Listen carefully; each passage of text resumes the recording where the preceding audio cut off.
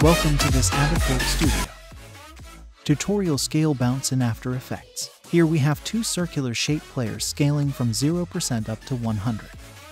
When adding a bounce effect first you have to overshoot the size. So go to the last keyframe and instead of 100 type in 110. And then move along 3 keyframes and type in 95 to undershoot the full size.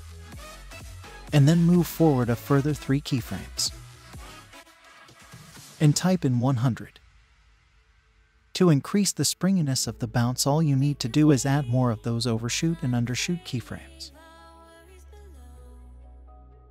So if we copy those keyframes onto the second shape, hit the Graph Editor button to go into the Graph Editor, and you can see here the springiness of the curve.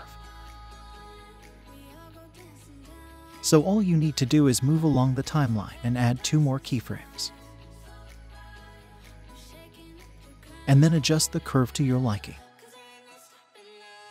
To soften out the motion select the keyframes just drag out the handles.